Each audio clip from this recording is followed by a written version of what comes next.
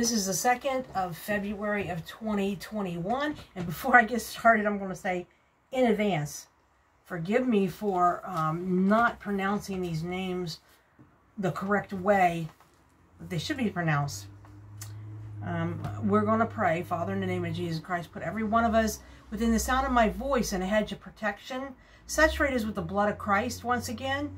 Father, give us revelation, knowledge, wisdom, understanding, and visit us in our dreams and in our waking hours. Hallelujah. Help us to hear your voice more clearly. And Father, let only your word go out on this message. Please keep it quiet and cool inside and quiet outside. And upload this video with no hiccups. In Jesus' name. Well, uh, the name of this study is Romans chapter 16. It's the last book in uh, Romans. so we're going to read it. I commend unto you Phoebe, our sister, which is a servant of the church which is at Cenchrea, um, that ye receive her in the Lord as becometh saints, and that ye assist her in whatsoever business she hath need of you. For she has been a secure, which is a helper. She gave hand up when they needed, of many and of myself also. Uh, Priscilla and Aquila, helpers in Christ Jesus, who have for my life laid down their own necks, unto whom not only I give thanks, but also all the churches of the Gentiles. Likewise, greet the church that is in their house. Salute uh, my well-beloved Epaphras, uh, uh, who is the first fruits of Associa unto Christ. Greet Mary, who bestowed much labor on us. Salute Andronicus, um, and, and uh, Junia, my kinsmen and my fellow prisoners, who are of note among the apostles, who also were in Christ before me, greet Amphilius and my beloved in the Lord. Salute Urban, our helper in Christ, and Stachys, my beloved. Salute Apelles, approved in Christ. Salute them which are of um, Aristobulus' household. We salute Herodion, my kinsmen. Greet them that be of the house of uh, Narcus, which are in the Lord. Salute um, Trophinia and uh, Tryphenius, who labor in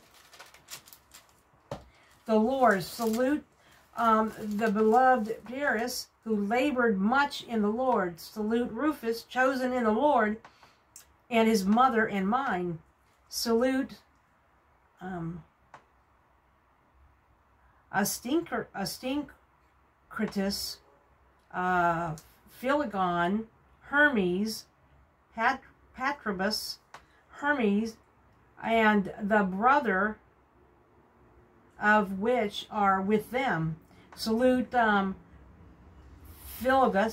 and Julia and Nicholas and his sister and Olympas and all the saints which are with them. Salute one another with a holy kiss. The churches of Christ salute you. Now I beseech you, brethren, mark them which cause divisions and offenses contrary to the doctrine which ye have learned, and avoid them. For they are not of such, uh, serve not our Lord uh, Jesus Christ, but their own belly, and by good words and fair speech deceive the hearts of the simple. For your obedience is come abroad unto all men. I am glad therefore on your behalf, but yet I would have you wise that which is good, and simple concerning evil. And the, and the God of peace shall bruise Satan under your feet shortly. The grace of our Lord Jesus Christ be with you. Amen. Timotheus, my work fellow, and Lucas, and Jason, and Sopater, my kinsmen, salute you. I, Tityrus, who wrote this epistle, um, salute you in the Lord. Gaius, my host, and the whole church salute you. Epatrus, Eratrus, the chamberlain of the city, salute you. And Quartus, a brother. The grace of our Lord Jesus Christ be with you all. Amen. Now to him that is of power to establish you according to my gospel and the preaching of Jesus Christ according to the revelation of the mystery which was kept secret since the world began, but now is made manifest, and by the scriptures of the prophets, according to the commandment of the everlasting God, made known to all nations for the obedience of faith. To God only be wise, be glory through Jesus Christ forever. Amen.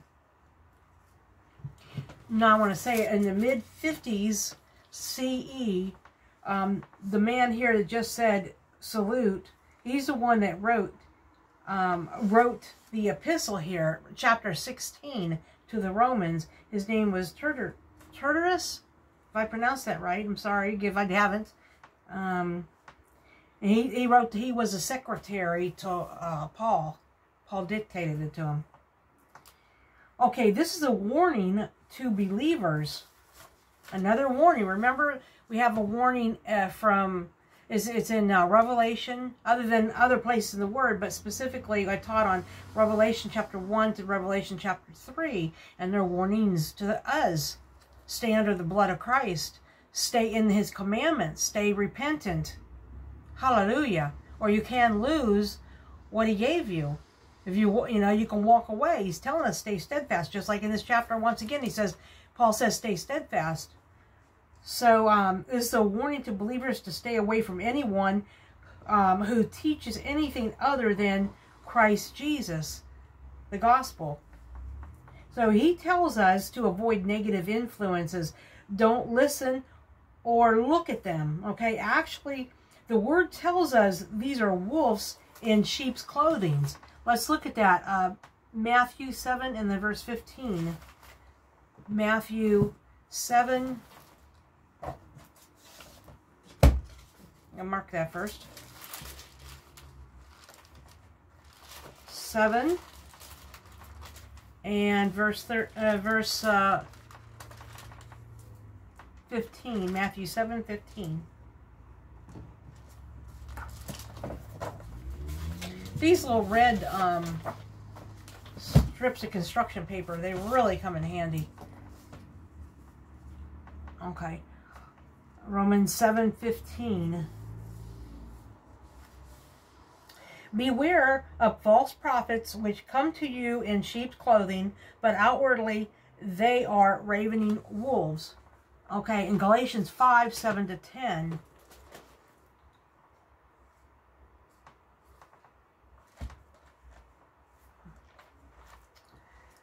Ooh, hallelujah. Galatians 5, verse 7 to 10. Ye did run well who did hinder you that ye should not obey the truth? This persuasion cometh not of him that calleth you. A little leaven leavens the whole lump. I have confidence in you through the Lord that ye will be none otherwise minded, but he that troubleth you shall bear his judgment, whosoever he is. Hallelujah. And I thank God for that um, that revelation there. Excuse me, hair on my face. Okay, uh, again, we're warned to hold on to Christ Jesus. Like I was saying, Paul said it again, and there's else places too. And one of them we're going to look at is uh, Philippians chapter 4, verse 1. Philippians 4, verse 1. Thank you, Holy Spirit. Therefore, my brethren, dearly beloved and longed for, my joy and crown, so stand fast in the Lord, my dearly beloved, Notice that, stand fast in the Lord, which means you can walk away. Hair on my face, I'm sorry. Okay? Which means you have the right. I mean, you wouldn't have free choice if you didn't have the right to walk away. But God doesn't want that. That's why he's waited so long and woes, like woos us by his Holy Spirit to come to him. Hallelujah.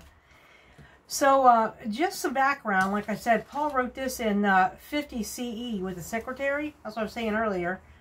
Also, uh, commentators say that he didn't make it to Rome, but in this in his Roman book here, he says that his his, prayers were to uh, to come to see them on his way to Spain. But if you remember, when uh, before he went to Jerusalem, there was men that would tell him, or people were telling him, do not go there. You will be bound. Go, don't go there. You'll be bound and in prison. So he's he went ahead anyhow. And you know, I all I gotta say about that is, uh, you know what? I have been one that has gone my own way, and um, I've made a mess of things. Literally made a mess of things. God forgive me. And he has forgiven me for that. I just ask him to forgive me of known and unknown sin daily, many times a day, in fact.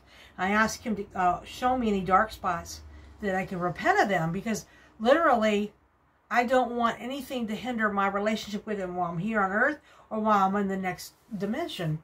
Guarantee, you know, your body, your your soul, your spirit is an eternal being, is an eternal creation.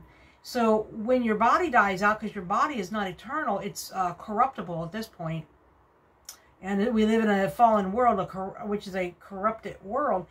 When you when this body gives out and your spirit and soul come out, you know, uh, you're going to go one place or two. Either you accepted Christ and you're going to go live with your Savior, Christ Jesus, or your Creator. You know, me, I choose life. I pray you choose life and to study more about him and to share your faith with him and what he's done for you. No matter if it was 20 years ago, share it because it, it just builds your faith up and it builds others up and others' faith up. And uh, so do that because you're going to one or two places. And if you go, if you don't accept Christ on this earth, because this earth is the only time you're going to be able to accept him, your soul's going to go straight to hell and you'll be with Satan and the demons for eternity. So we don't want that. We want life, peace, joy, a life in abundance. Hallelujah. Forevermore. Eternal life with our Creator. Hallelujah. But anyways, if you uh, have any more information on um, on that, like I said, commentaries commentators are saying that he didn't make it to Roman to Rome. So let's leave it there. And if you'd leave me a message in the um, comments, I'd appreciate it. Okay, Romans chapter 16, verse 17 and 18 warns us against being around or supporting anyone causing divisions, okay? Anyone who teaches contrary to the gospel of Christ. All right, that's uh, 16 and 17. Let's look at that.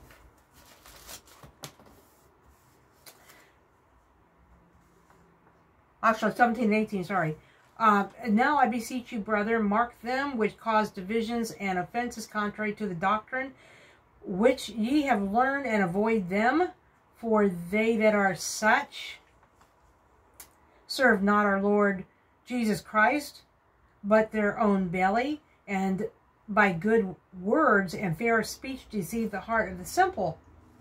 They want you to be obedient to his voice, not the voice of, of a naysayer or someone that, that causes division or someone that argues and that's all they want to do is argue. They don't want to bring edification to you or anybody else. They just want their point and that's what they say and you to do it. And it's a spirit of control. It's a spirit of islam and it's a it's a it's a demon behind those spirits.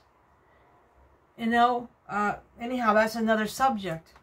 I'm pretty sure i put up a study on that but we want to, for the most part, we want to keep our focus on Christ.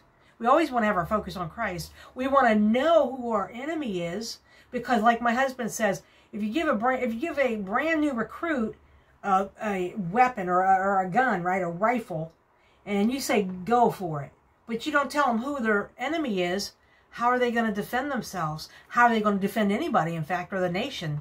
If they don't know who their enemy is. So there, therefore, we have to know who the enemy is, and that enemy is Satan himself, that old dragon. He was thrown out of heaven because he was prideful and wanted to be in the position of God.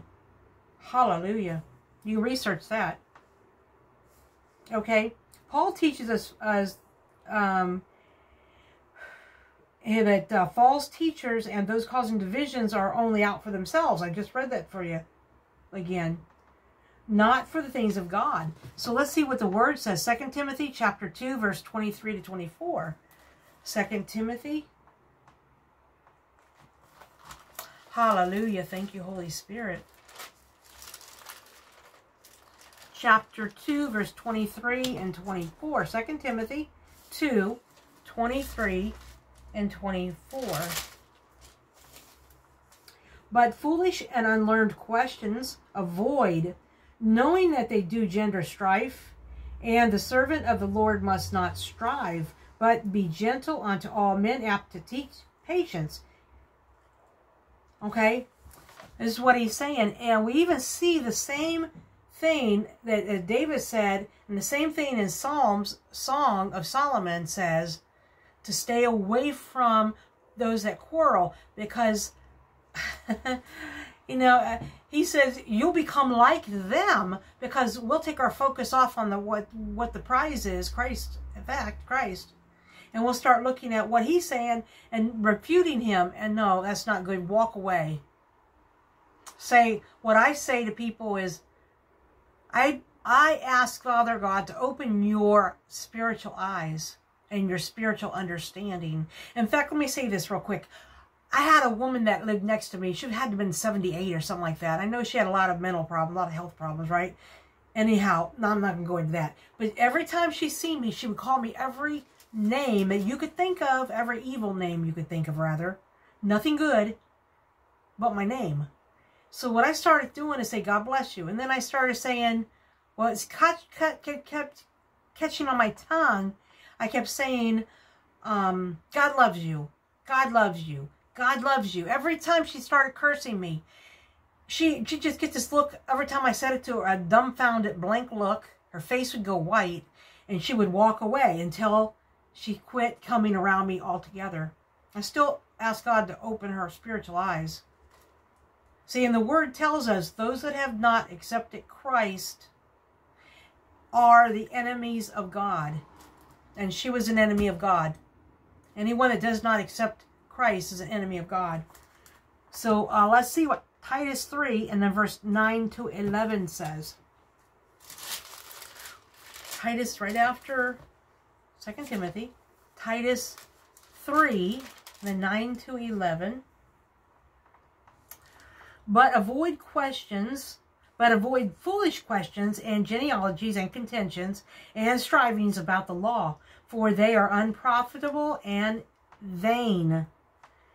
A man that is a heretic after the first and second admonition reject, knowing that he is as such subverted and sinneth being condemned of himself. Now, I'm going to tell you here, I don't want to put anyone down, but I have a family member that every time we go to study, even though he said he wanted to sit and study, he wanted to learn the word, didn't matter what I said, what anybody else said, he had to overtalk them. He had to be right.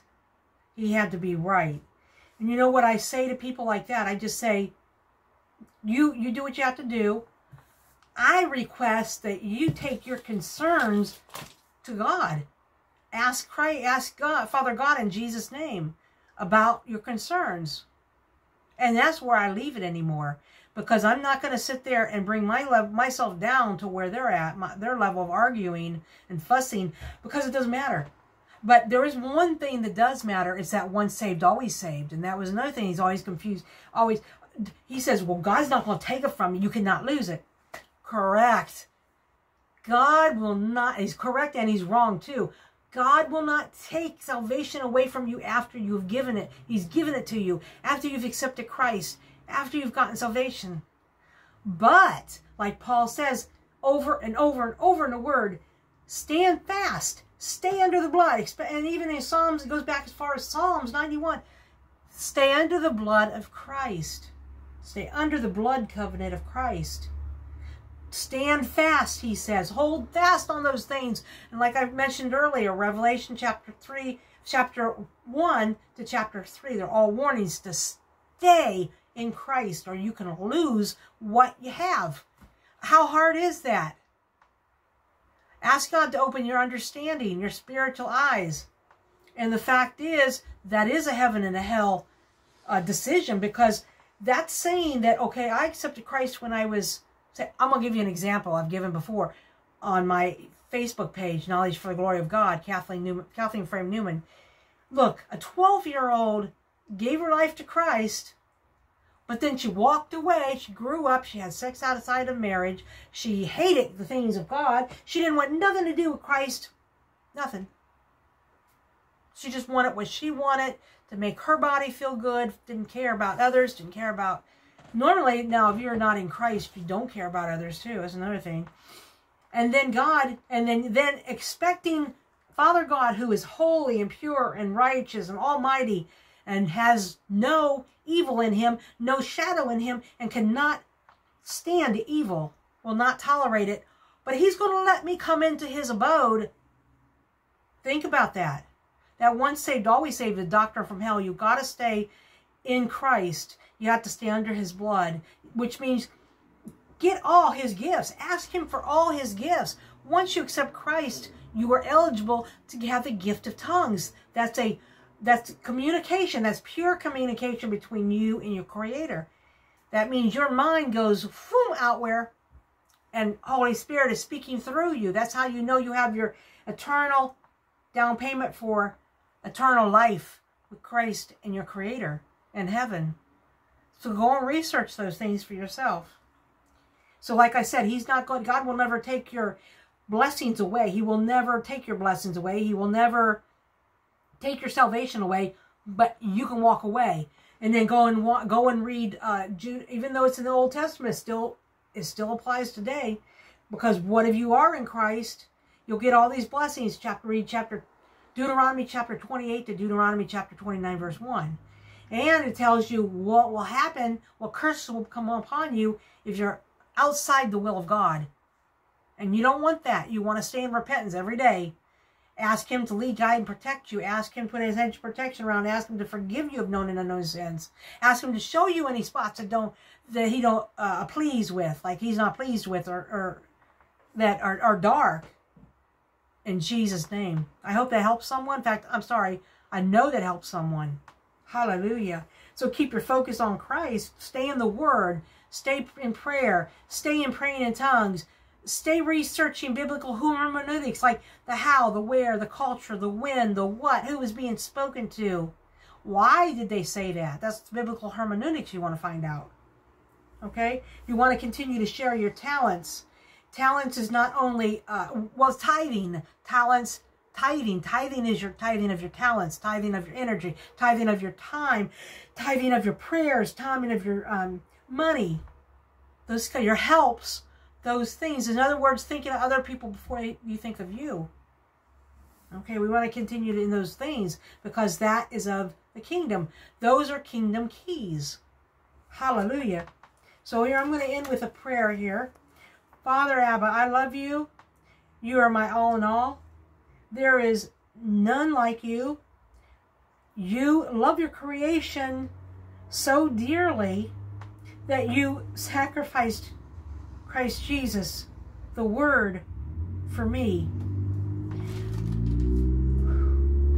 Father, I believe and accept your Son's sacrifice.